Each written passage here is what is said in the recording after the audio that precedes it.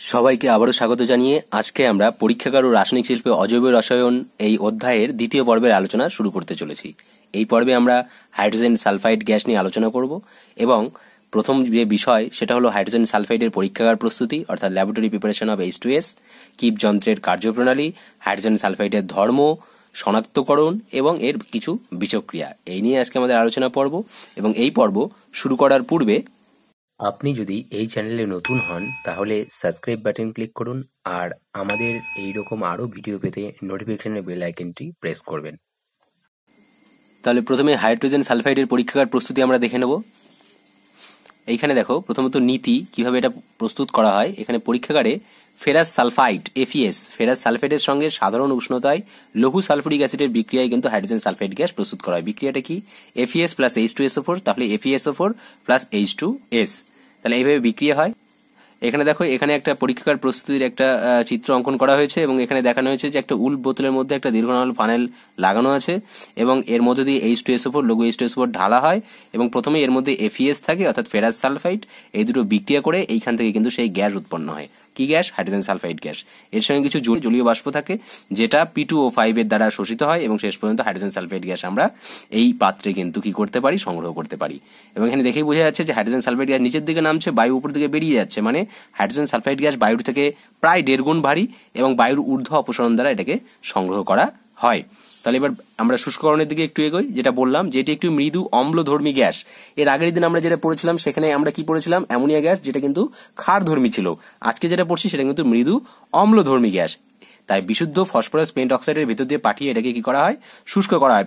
Phosphorus pentoxide P two O five এই যেখানে চিত্রে যেটা দেখানো হয়েছে। সংগ্রহ, যেটা বললাম, বায়ু অপেক্ষা এইচ টু এস গ্যাস, ভারী বলে এইচ টু এস গ্যাসকে বায়ুর ঊর্ধ্ব অপসারণ দ্বারা সংগ্রহ করা হয় এবং কিছু সতর্কতা এখানে বলা আছে।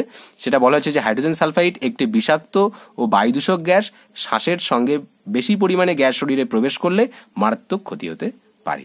তাহলে এই ছিল আমাদের প্রথম অংশ এবং আমি এর আগের দিনও বলেছিলাম, আজকেও বলছি যে এই পর্বে অর্থাৎ পরীক্ষাগার ও রাসায়নিক শিল্প অজৈব রসায়ন এই অংশে যখন আমরা আলোচনা করব, তখন এইখানে বেশিরভাগ ক্ষেত্রেই কিন্তু আমাদের কতগুলো জিনিস কিন্তু মুখস্থ করে নিতে হবে। অবশ্যই বুঝব, কিন্তু তার সঙ্গে সঙ্গে মুখস্থর পরিমাণটা কিন্তু বেশি থাকবে। ঠিক আছে? তাহলে এই ছিল আমাদের প্রথম অংশ। এক্ষেত্রে অবশ্যই তোমরা এই বিক্রিয়ার সমীকরণটা মাথায় রাখলে কিন্তু অনেকটা এগিয়ে যেতে পারবে। আচ্ছা এরপরে কি আছে? দ্বিতীয় অংশে আছে কিপ যন্ত্রের কার্যপ্রণালী। কিপ যন্ত্র কি একটু বলে নিই? কিপ যন্ত্র হচ্ছে এক ধরনের যন্ত্র যার মাধ্যমে আমরা ঠিক একই রকম ভাবে হাইড্রোজেন সালফেট গ্যাস উৎপন্ন করতে পারি এবং প্রয়োজন মতো তাকে আমরা ব্যবহার করতে পারি। তাহলে দেখে নেওয়া যাক কিপ যন্ত্রের কার্যপ্রণালী। কিপ যন্ত্রের কার্যপ্রণালী। এখানে দেখো কি বলেছে যে এখানে ডান দিকে চিত্রটা আমরা আগে দেখে নেব। এখানে চিত্রটা একটু বড়।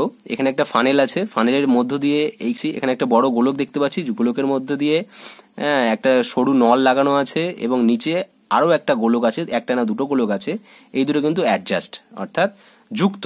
তাহলে এইখানে দুটো অংশ আছে, একটা হচ্ছে উপরের অংশ, একটা হচ্ছে নিচের অংশ। উপরের অংশ একটি গোলক, একটা ফানেল যুক্ত, এবং নিচের অংশ হচ্ছে দুটি, একটা পূর্ণ গোলক আর একটা অর্ধগোলক যেটা ভেতরে দুটো কি যুক্ত অবস্থায় আছে। এইবার কি করে কাজ করে সেটা একটু বলি। এখানে যদিও বলা আছে, দেখো, যে মাঝের গোড়কে ফেরাস সালফাইডে ছোট ছোট টুকরো নেওয়া হয়। এটা মাঝের গোড়ক, এই যে ফেরাস সালফাইড এফিএস এর ছোট ছোট টুকরো নেওয়া হয়। আর উপরের গোলকের সঙ্গে যুক্ত ফানেলের ভেতর দিয়ে এইচ টু এস ওপর যুক্ত করা হয়। এই যে এইচ টু এস ওপর এই ফানেলের ভিতরে ঢালা হয় এবং এটা থেকে কি হয়? ধীরে ধীরে সেটা নিচে নামে। এই যে অর্ধগোলকটি পরে পূর্ণ হয়, তারপর মধ্যগোলকে প্রবেশ করে। এটা দিয়ে কোথায় আসছে এটা? নিচের অর্ধগোলকে। তারপর সেটা থেকে কি হচ্ছে? ধীরে ধীরে উপরে উঠছে এবং এই পূর্ণ গোলকের দিকে এগোচ্ছে। এবার অ্যাসিড ফেরাস সালফাইডের সংস্পর্শে আসা মাত্র কি হয়? ফেরাস সালফাইড আর এটা কি অ্যাসিড লঘু এইচ টু এস ওপর যেটা আগের অংশে আমরা দেখলাম এক নম্বর অংশে দুটোর বিক্রিয়া কি উৎপন্ন হয়েছিল? Hydrogen sulphide gas. তাহলে এর সঙ্গে এরা যখন ধীরে ধীরে উপরে উঠবে, তখন এর সঙ্গে বিক্রি হবে এবং হাইড্রোজেন সালফাইড গ্যাস এদিক দিয়ে আমরা বের করে নিতে পারব। এর মধ্যে কিন্তু হাইড্রোজেন সালফাইড গ্যাস কি হবে? উৎপন্ন হবে এবং মাঝের গোলকে সঞ্চিত হয় এবং স্টপ কক খুলে প্রয়োজন মতো এই যে স্টপ কক খুলে আমরা প্রয়োজন মতো কি? হাইড্রোজেন সালফাইড গ্যাস পাওয়া যায়।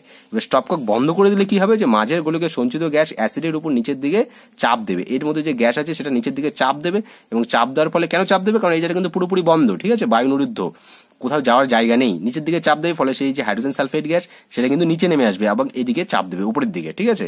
নিচের দিকে চাপ দেয়, ফলে অ্যাসিড নিচের অর্ধগোলকে চলে আসে এবং ফেরাস সালফেটের সাথে অ্যাসিডের সংযোগ বিচ্ছিন্ন হওয়ার ফলে বিক্রিয়া বন্ধ হয়ে যায়। বিক্রিয়া বন্ধ হলে কি হবে? সেই এইচ টু এস গ্যাস উৎপন্ন হওয়া কিন্তু বন্ধ হয়ে যাবে। তাহলে প্রয়োজন মতো আমরা স্টপকক খুললেই হাইড্রোজেন সালফেট গ্যাস পাচ্ছি, আবার বন্ধ করে দিলে হাইড্রোজেন সালফেট গ্যাস উৎপন্ন হওয়াও বন্ধ হয়ে যাচ্ছে। তাহলে এটা কিন্তু আমরা নিজের ইচ্ছা মতো পরীক্ষাগারে ব্যবহার করতে পারি, হাইড্রোজেন সালফাইড গ্যাস উৎপন্ন করার ক্ষেত্রে।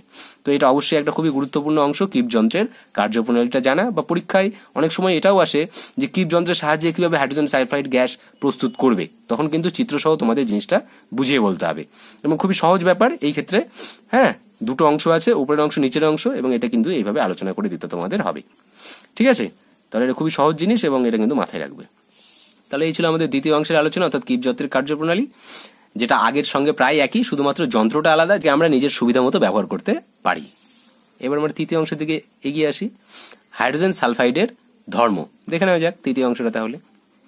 হাইড্রোজেন সালফাইডের ধর্ম। এর আগে দিন আমরা পড়েছিলাম যে অ্যামোনিয়ার ধর্ম, সেক্ষেত্রে দুটো ধর্ম আমরা দেখেছিলাম। একটা ছিল ভৌত ধর্ম আর একটা ছিল রাসায়নিক ধর্ম। এবার প্রথম অংশে আমরা চলে আসি ভৌত ধর্ম। অবস্থা কি? এটা একটা গ্যাস, তাই বিষাক্ত গ্যাস, অবশ্যই বিষাক্ত গ্যাস, এটা একটা বর্ণহীন এবং গন্ধ হচ্ছে পচা ডিমের গন্ধযুক্ত এর গন্ধ। ঠিক আছে? পচা ডিমের যেরকম গন্ধ। চাপের প্রভাব কি? উচ্চ চাপ প্রয়োগে শীতল করে সহজেই বর্ণহীন তরলে পরিণত করা যায়। এর অ্যামোনিয়া গ্যাসের ক্ষেত্রে কিন্তু তাই ছিল। তাই না? আচ্ছা আর কি ঘনত্ব? এইচ টু গ্যাস, বাতাস অপেক্ষা ভারী এবং বাষ্প ঘনত্ব সতেরো। বাতাসের থেকে কিন্তু কি এটা? ভারী। ঠিক আছে? যেটা আগেই বলা হলো। দ্রাব্যতা কি গরম জলে অদ্রাব্য? গরম জলে মানে দ্রবীভূত হয় না, কিন্তু ঠান্ডা জলে দ্রাব্য। এইচ টু গ্যাসের জলীয় দ্রবণ, অ্যাসিড, ধর্মী। ঠিক আছে? আচ্ছা তাহলে এই ছিল এদের কি? অবশ্যই ভৌত ধর্ম। এবার আমরা রাসায়নিক ধর্মের দিকে এগোবো। ভৌত ধর্ম মানে যেগুলো সহজেই আমরা শনাক্ত করতে পারি, দেখতে পারি। আর রাসায়নিক ধর্ম মানে যেগুলো আমরা এখন কি করব? কিছু বিক্রিয়ার মাধ্যমে দেখব কি ঘটছে। H two H two S gas নিজে দাহ্য, কিন্তু দহনে সহায়ক নয়। নিজে দাহ্য মানে নিজে জ্বলবে, কিন্তু অন্য কাউকে জ্বলতে সাহায্য করবে না। এবার অক্সিজেনের সঙ্গে বিক্রিয়ায় কি হয় দেখো? যে সামান্য অক্সিজেন বা বায়ুতে কি হয়? নীল শিকার সঙ্গে জ্বলে ওঠে এবং জলীয় বাষ্প ও হলুদ বর্ণের সালফার উৎপন্ন করে। Two H two S plus O two, এখানে আবার মাথায় রাখতে হবে সামান্য অক্সিজেন বলেছে। সেই জন্য বিক্রিয়াটা একরকম, আবার বেশি অক্সিজেন হলে বিক্রিয়াটা আরেক রকম তাহলে two H two S plus O two সমান সমান two H two O plus two S, নিচের দিকে তীর চিহ্ন মানে এখানে কি? সালফারের অধক্ষেপ পড়ছে। অতিরিক্ত অক্সিজেনের উপস্থিতিতে কি হচ্ছে? সালফার ডাইঅক্সাইড ও স্টিম উৎপন্ন করে। সালফার ডাইঅক্সাইড হচ্ছে two H two S plus three O two সমান সমান টু এইচ টু ও। এইটা কিন্তু steam plus two S O two. Sulphur dioxide এটা কিন্তু উৎপন্ন করে। এটা কিন্তু অতিরিক্ত অক্সিজেনের উপস্থিতিতে। তাহলে এই ছিল হচ্ছে অক্সিজেনের সঙ্গে বিক্রিয়া। এটা কিন্তু দুটো বিক্রিয়া দেখাচ্ছে। একটা হচ্ছে সামান্য অক্সিজেন বা বায়ুতে আর একটা হচ্ছে বেশি অক্সিজেন। এর সঙ্গে সঙ্গে যেহেতু একটু আগে বলা হলো যে এর জলীয় দ্রবণ কি ধর্মী? অ্যাসিড ধর্মী। তাই জন্য এর একটা অ্যাসিড ধর্ম এখানে আমরা দেখব। কি করছে দেখো এখানে H two S NAOH NAOH মানে সোডিয়াম হাইড্রক্সাইড তাহলে এখানে কিন্তু ক্ষারের সঙ্গে অ্যাসিড। যেহেতু অ্যাসিড ধর্ম তাহলে বিক্রিয়া করলে কি হয়? ক্ষার ও অ্যাসিডের বিক্রিয়া লবণ ও জল উৎপন্ন হয়। এক্ষেত্রেও ঠিক দেখো N A H S N A H S plus H two O উৎপন্ন হচ্ছে। এখানে N A N A H S মানে কি? Sodium bisulphide plus H two O উৎপন্ন করছে লবণ জল। আবার এখানে দেখো এইচ টু এস এর সঙ্গে টু এনএওএইচ এর বিক্রিয়া আবার কি হচ্ছে? এনএ টু এস অর্থাৎ সোডিয়াম সালফাইড আর হচ্ছে টু এইচ টু দুই অণু জল উৎপন্ন হচ্ছে। তাহলে অ্যাসিড ধর্ম কিন্তু দুটোর ক্ষেত্রে আমরা দেখতে পাচ্ছি। এবং এই ক্ষেত্রে অ্যাসিড ধর্মের সঙ্গে কি হচ্ছে দেখো? যে ক্ষারের সঙ্গে বিক্রিয়ায় লবণ জল উৎপন্ন করছে। এবং দুই ক্ষেত্রেই সেটা হচ্ছে। এবং এটা কিন্তু দুই রকম বিক্রিয়ায় হয়। হুম? এই ক্ষেত্রে দেখো দুটোর মধ্যে পার্থক্য কি? এটা হচ্ছে দুই অণু সোডিয়াম হাইড্রক্সাইড আর এই ক্ষেত্রে এই ক্ষেত্রে এক অনু সোডিয়াম হাইড্রক্সাইড এক্ষেত্রে দুই অণু সোডিয়াম হাইড্রক্সাইড দুই বিক্রিয়াই কিন্তু ঘটে। ঠিক আছে? সোডিয়াম হাইড্রক্সাইড সোডিয়াম হাইড্রক্সাইডের উপস্থিতিতে কিন্তু দুটো বিক্রিয়ায় ঘটে এবং এটা থেকে কিন্তু এর অ্যাসিড ধর্ম প্রকাশ পায়। এবার এখানে দেখো এনএএইচএস এর নাম লেখা আছে সোডিয়াম বাইসালফাইড মনে রাখার জন্য, আর এনএ টু এস হচ্ছে সোডিয়াম সালফাইড এর সঙ্গে সঙ্গে আমরা একটু বিজারণ ধর্ম দেখব। এটি একটি শক্তিশালী বিজারক পদার্থ, কীরকম? K two CR two O সেভেনের plus four H two S O four plus three H two S দেখো, এইখানে এই যে বিক্রিয়া, এই বিক্রিয়ায় কি ঘটছে?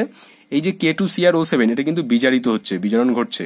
থেকে C R two S O four whole three হচ্ছে। এবং থ্রি এইচ টু এস মানে এটা কি? এটাই হচ্ছে আমাদের হাইড্রোজেন সালফাইড এবং এটা কি হচ্ছে? নিজে জারিত হচ্ছে, জারণ ঘটছে, হয়ে কি হচ্ছে? থ্রি এস উৎপন্ন করছে। তাহলে এই কিন্তু একটা শক্তিশালী বিজারক পদার্থ, নিজে জারিত হয় এবং অন্যকে বিজারিত করে। এবার এখানে অধক্ষেপ বিক্রিয়া, অধক্ষেপ বিক্রিয়াগুলো খুবই ইম্পর্টেন্ট এগুলো কি দেখো? C U S O four copper sulphate এর সঙ্গে কি হচ্ছে? এইচ টু এস এর বিক্রিয়া হচ্ছে কিউপ্রিক সালফাইড কালো রঙের অধক্ষেপ পড়ছে তার সঙ্গে এইচ টু এস উৎপন্ন করছে। আবার দেখো পিবিএনও থ্রি লেড নাইট্রেট এর সঙ্গে এইচ টু এস এর বিক্রিয়া কি হচ্ছে? PBS lead sulphide plus two H NO three মানে নাইট্রিক অ্যাসিড উৎপন্ন করছে। আবার টু এজিএনও থ্রি সিলভার নাইট্রেটের সঙ্গে এইচ টু এস এর বিক্রিয়া কি হচ্ছে? AG two S silver sulphide plus two H NO three অর্থাৎ নাইট্রিক অ্যাসিড উৎপন্ন করছে। তাহলে এই তিনটার ক্ষেত্রে কি হচ্ছে দেখো? কালো কালো কালো, অর্থাৎ কালো অধক্ষেপ কিন্তু পড়ছে এবং এটা কিন্তু দরকারি একটা পদক্ষেপ বিক্রিয়া। বিভিন্ন ক্ষেত্রে এটা কিন্তু দেখা যায় হ্যাঁ? এবং এরপরে আমরা যখন শনাক্তকরণ পড়ব, তখনও দেখব যে এই যে হাইড্রোজেন সালফেট শনাক্তকরণেও কিন্তু এটা খুবই গুরুত্বপূর্ণ ভূমিকা পালন করছে। যাই হোক, তাহলে এটা ছিল হাইড্রোজেন সালফাইডের ধর্ম। পরের অংশে কি আছে দেখি একটু? এইচ টু এস শনাক্তকরণ। আমরা ভৌত ধর্মে যেটা পড়েছিলাম সেটাই আছে যে এখানে একটা পচা ডিমের গন্ধযুক্ত গ্যাস, এর বিশেষ গন্ধে কিন্তু একে শনাক্ত করা যায়। তাছাড়া কি?